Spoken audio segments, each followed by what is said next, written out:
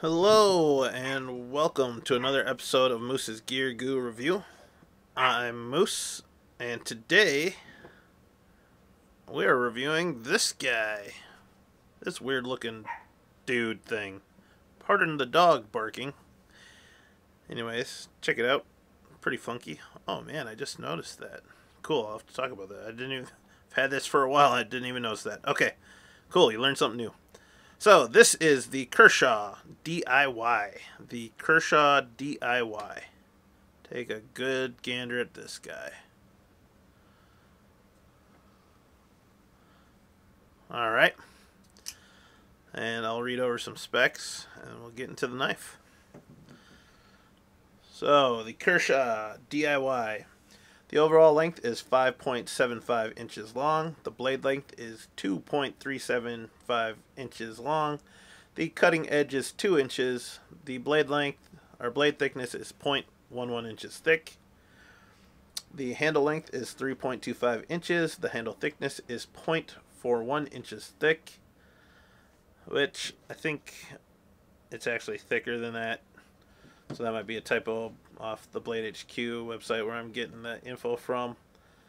Uh, but other than that, the overall weight on this is 3.4 ounces. So this knife is based off of Kershaw's ever so popular shuffle. And basically, they took the shuffle and tried to make it more multi-toolish uh, by uh, giving a fatter handle scale where you can store uh, hex bits. But we'll get into that in a second. Uh, looking at the blade, has a black powder coating, hollow grind, plain edge blade. The overall blade shape's the same, uh, though they did add some uh, jimping, some fairly wide jimping up top here. Uh, branding, you have the Kershaw logo there. On the back side, you have the Kai model number, and then China and 8Cr13MoV blade steel, which Kershaw's 13 8Cr13MoV. It's pretty standard. It's good stuff for budget knives. I uh, have black, uh, fairly robust thumb studs, and yeah, definitely is slicey. Uh, high hollow grind makes it very slicey, and like I said uh, before, with this belly, um, half the knife is belly there, so you can actually get some roll cuts done. Jimping though, I feel the jimping isn't in a very good place. And I don't know if they intended this jimping to serve a, a different purpose. I mean, I can reach up there, but it seems a little bit far. If I hold in this grip though, the jimping does seem to help. But I almost wished it was a little bit closer to the tip, but that works for doing like draw cuts or whatnot. So I guess that's usable. But I still would like to see some sort of jimping right before the thumb studs. Uh, going into this, because it has that thicker handle scale, um, the actual choils for the finger actually feel a lot better. Like they just curve into that handle scale. Um, but then you feel these weird spots of texturing because of the hex bits. But we'll talk about that some more. So going into the handle, overall it's the same shape. It's just thicker, and then there's different things going on here. Um, so it's a GFN handle scale. Hardware is blacked out.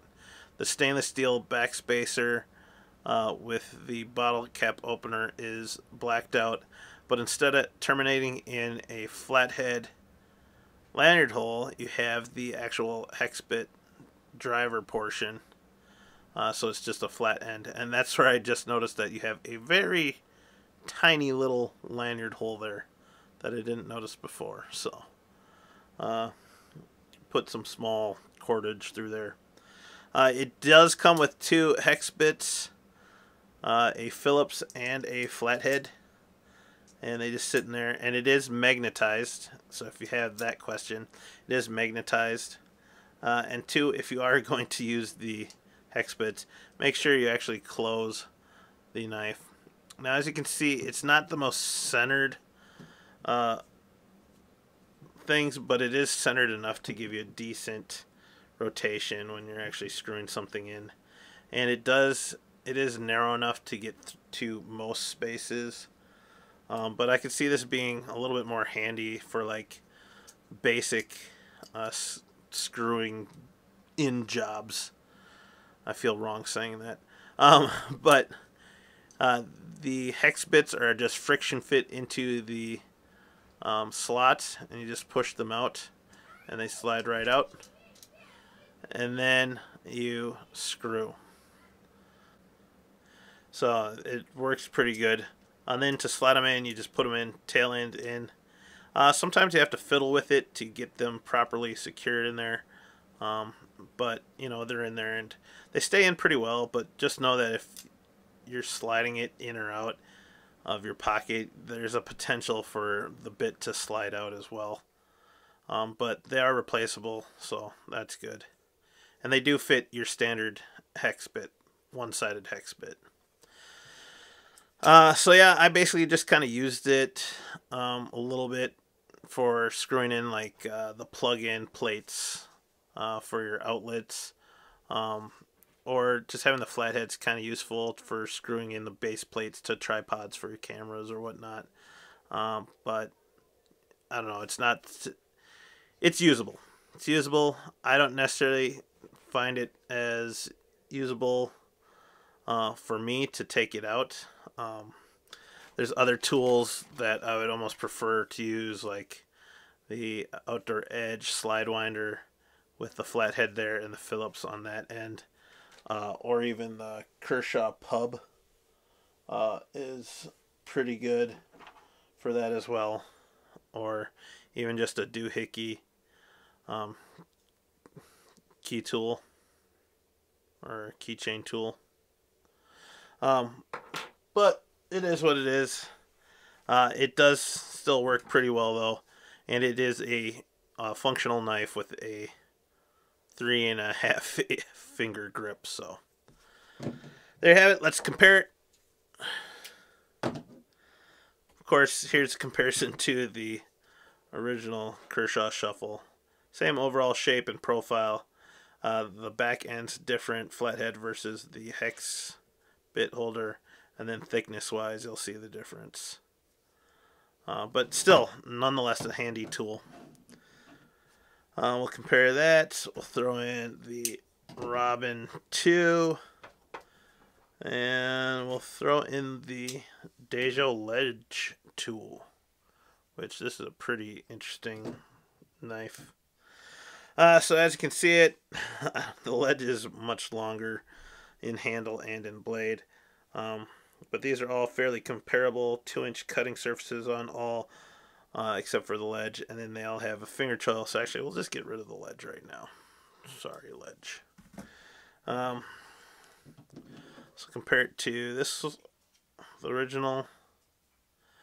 Uh, and it looks like the original shuffle is slightly larger than the DIY, um, but they are basically the same size. Just the handle is bigger, thicker, thinner. So there's that.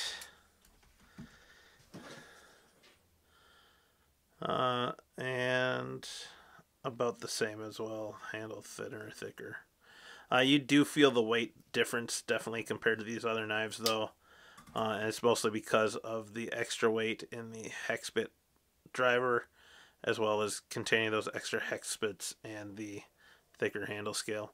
It is a stainless steel blacked out liner lock and it's recessed in there uh, and it works pretty well.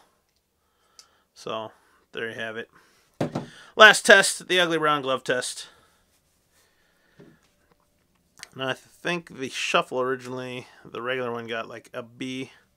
Uh, this doesn't have the uh, K grip texturing. It just has kind of like a cross pattern cloth texturing that actually is much smoother. Um, on on your skin, it, it fits pretty well, but with a cloth gloved hand, uh, it doesn't grip much, and then two, these choils are fairly slick. But uh, because it's thicker, the choils do lock in a little better, and then that jimping does help a little bit on the thumb. But my thumb feels more natural here, so I wish there was jimping there. Uh, just slightly more slick than the original. In this position, it's actually decent. Uh, finding the lock, unlocking, getting the thumb studs, definitely can disengage the lock and deploy the blade, so passes on that.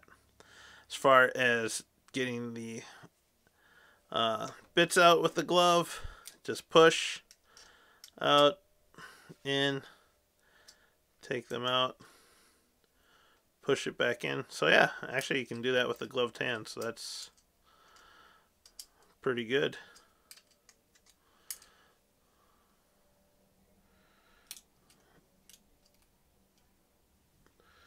Uh, a little harder getting them back in. Uh, but nonetheless doable. Does it pass? Yes. Does it pass pretty well? I'd say it's alright. I'd give it a C plus on the ugly brown glove test. So, alright guys, there you have it. Kershaw DIY Shuffle, or Kershaw Shuffle DIY, one of those two. Uh, check it out. You know, it's not for everyone, but if you find the utility in it and you find, you know, you have a specific purpose for it, um, you can definitely find it. Uh, at the time of this video is under 25 bucks. Um, so I think you could find it anywhere from like 20 to $30. I'll leave links in the description below. Uh, and you can check those out for up-to-date pricing. On that, check out these other two videos here. Click the big round logo button to subscribe or just click, click the subscribe button. Hit that notification bell. Like, comment, and subscribe. And I'll see you outside. Thank you, guys.